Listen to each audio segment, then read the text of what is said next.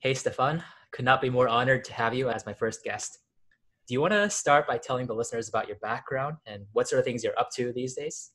Professionally, I worked as a chartered accountant and mostly working inside internal audit in financial services uh, and consulting companies and things like that. I'm mostly known as a Bitcoin podcaster nowadays, so that's my main uh, thing. So I host a self-titled podcast about Bitcoin and Austrian economics. I wanted to just have a nicely curated track, a pathway of interviews with some of the leading people within the Bitcoin world.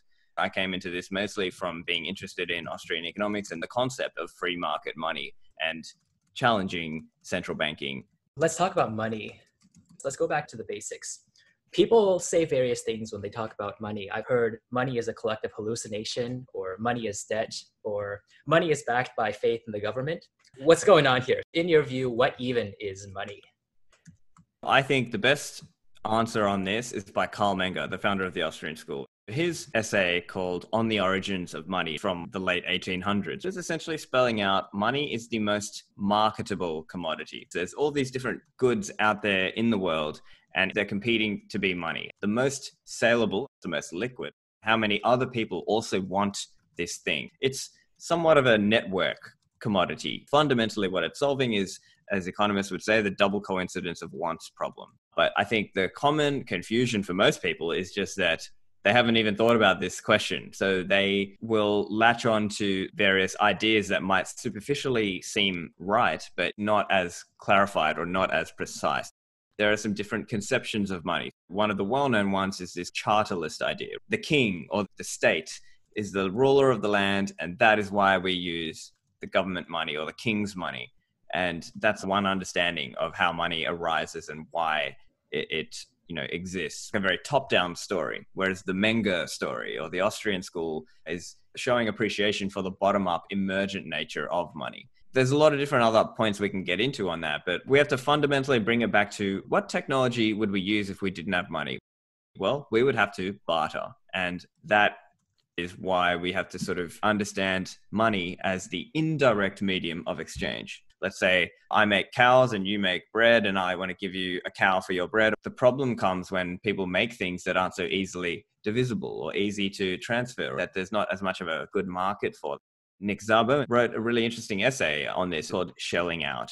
I would highly recommend that. He builds on this idea that some of the earliest forms of money, proto money, were in fact things in relation to generational wealth transfer or for big transfers. Let's say marriage and a dowry, it's a big payment. It's not just day to day, I'm giving you this for some bread or whatever. It was big payments. And that's how it started.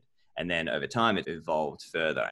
It is also another common confusion that people think of it like it's a collective hallucination or some kind of illusion that we all buy into. I think that's imprecise. Money is the best medium of exchange and it's the most marketable medium of exchange. I think that's the most precise way to conceive of it. Over time, through repeated interactions, some people figure out if I use this particular good as the medium of exchange, I will be able to facilitate more trades and I can more easily transport my value across time and space, as Menger said. That for me is the bedrock. That's the foundational way to think about this. And so it might be more appropriate to think of it as shared recognition. It's not arbitrary. It wasn't by chance that for thousands of years, humans used gold. There was some underlying reason behind that. There were different civilizations who had independently come to gold as their money.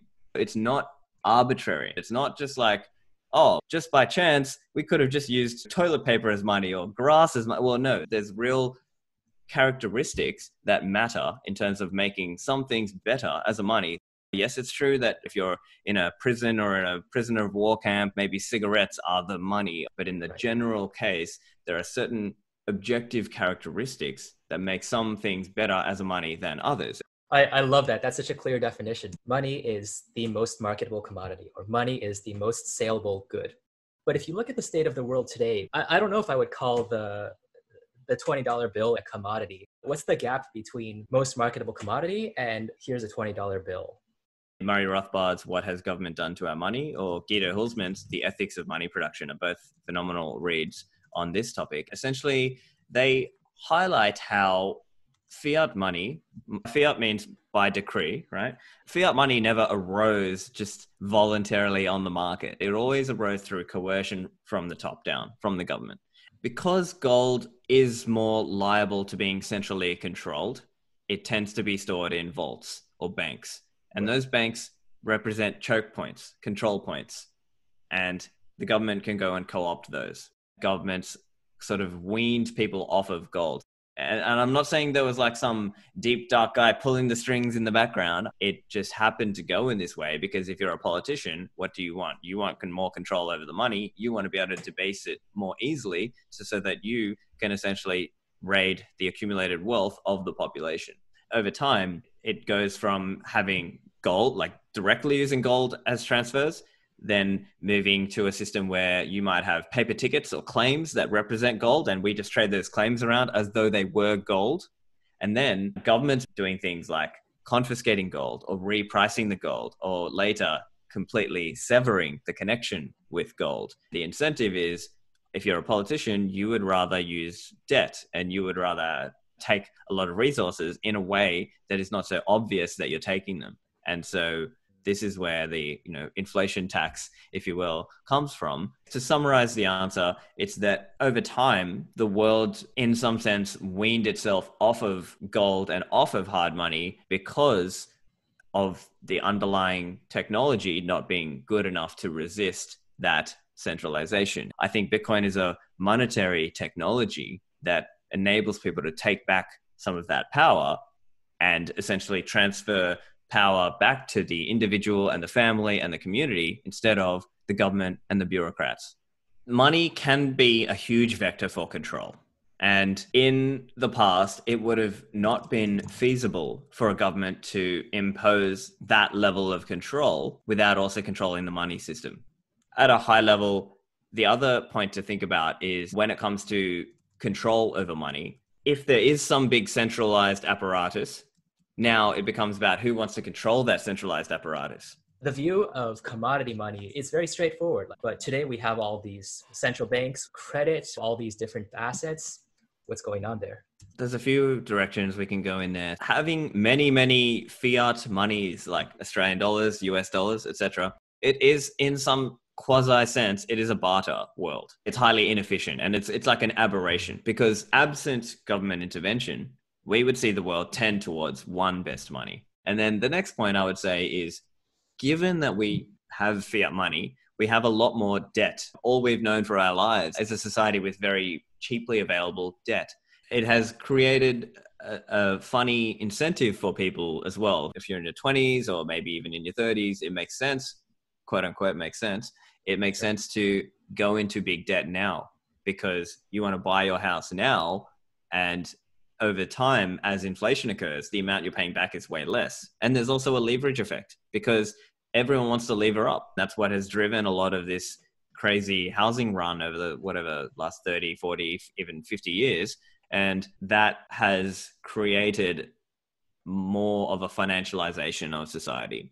It's not to say that financialization is bad. What I'm trying to point out here is more like the finance sector is larger than it would otherwise be if we were living under a hard money or a sound money, let's say gold or Bitcoin standard, I think the finance sector wouldn't be this dramatically large as it is today. I just think the overarching structure would be one where we would be living in a more equity based society as opposed to a debt based one. I also want to touch on the social aspect of how people say, "Oh, money, money is the root of all evil," or perhaps it somehow feels dirty to sell something as opposed to giving away your services for free. What's your opinion on how people relate to money today? Yeah, so I think fundamentally a lot of people are just socialists at heart, right? So they look, some of that is I think a lot of them are taking what works in their family and applying that to the society. And that's not a good way to act. We should think of money just as a it's a neutral coordination tool.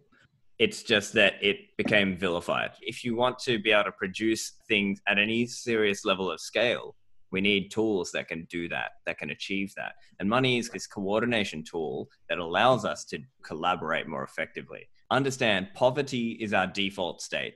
And if we didn't have these tools of coordination, the price mechanism, division of labor, and so on, if we couldn't do that, we'd be living in poverty. I think what causes some of that confusion is people don't understand the necessity of some of these, of coordination prices, of balancing how much value different things are. To some, it can seem like, oh, profits are a dirty thing or a bad thing, but we should actually think of profits like they are a socially beneficial signal, and losses are a socially beneficial signal too, because it's telling you, hey, all things considered, if you're making a loss, you are using up valuable resources in society. You shouldn't do that. Stop doing that. But if you're making a profit and you're making a big profit, assuming you obviously haven't cheated anyone or frauded anyone or things like that, if you're making a big profit, then that is a signal that essentially the the inputs that you are consuming are very cheap compared to the massive value that you are providing to society. We can grow this pie. It's a win-win game. We play this game and we can all win out of it. Whereas I think the people who tend to view money as the root of all evil, they tend to be thinking of it like, oh, you know, it's a fixed pie. Those big fat cats are taking too much of the pie. When I think of it more like, hey, just because Jeff Bezos can go and buy 20 yachts or whatever does not impinge on my ability to enjoy my life. Now, if they've done it in an immoral way, lying and cheating and stealing and whatever, then that's another whole story. But in and of itself, wealth and entrepreneurship and having a lot of money are not evil or bad things. And we have to sort of recognize that. And so, really, it's more about having the society and the institutions that best enable the growth of the pie, if you will, so that we, so that everyone can be prosperous. You mentioned kind of this socialist idea within the family and then money and profits as a coordination tool at scale. What changes at scale, like needing this sort of additional coordination tool when you go to a larger society? In the family, it makes sense because you can sort of manually calculate what you need to do and whether it's worthwhile. But at a society level, that information cannot be contained in any one person's head. We have to be humble. Money is the coordination tool that we use to then understand is this worthwhile for society? Your profit and loss signal is how you know. It's kind of balancing out those considerations at a macro society level. Makes a lot of sense. So what I'm hearing is if we ever get a super intelligent AI, we'll revisit the question. Even there, that's actually an interesting point because even there, that wouldn't necessarily know everyone's preferences.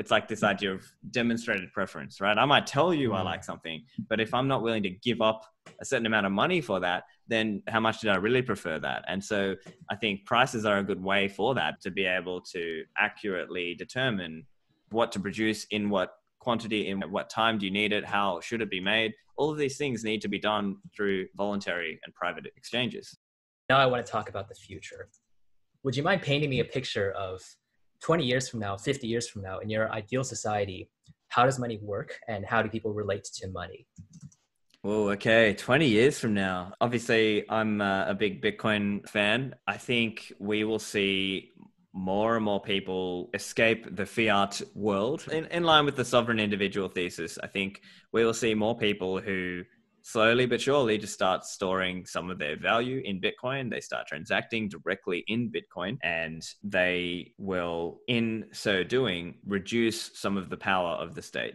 i think it's also fair to say that as more people flow into Bitcoin, we will see more people set up areas that are less government influence, if you will, like a Liechtenstein or Monaco. I think we just see a lot more of those kinds of places coming up by the time we get to 2040. Eventually, they may start to go and build up actual, you know, citadels or free private cities or charter cities and things like that.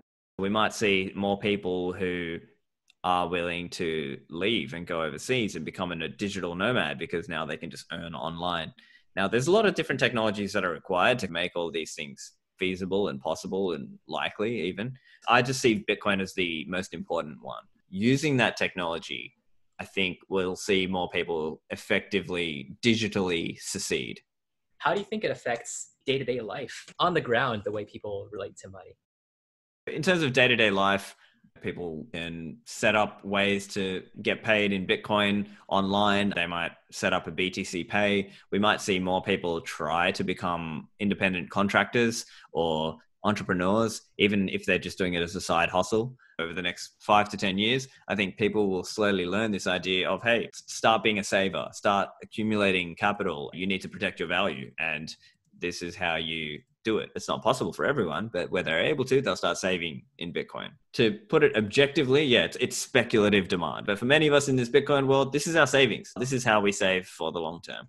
I think the the description of Bitcoin as savings technology is an apt one. Right on. I know you've been studying these topics for a really long time and speaking with a lot of very thoughtful people. So I really do think our listeners should seriously think about your input when thinking about how to navigate their futures. Not financial advice, TM. but yeah, do you have any closing thoughts for our listeners before we wrap up? What kind of society do you want to live in? I just see a lot of people who perhaps are a bit too meek or too afraid or just too willing to just go with what the government and the mob are saying. I, understand professionally or socially it can be difficult, but try to make your thoughts known where you can because there are a lot of other people out there who feel similarly. Otherwise, yeah, just keep learning, keep going down that Bitcoin rabbit hole. I truly believe it's the most important technology that the world actually needs to develop and engage with because I think it's like a huge lever for so much other social progress and productivity. A really empowering note to end on. Where can the listeners find you? Well, stephanlivera.com is the place to find all my podcasts and stuff. And obviously, you can find me on Twitter at StephanLivera. All right. Thanks so much, Stephan.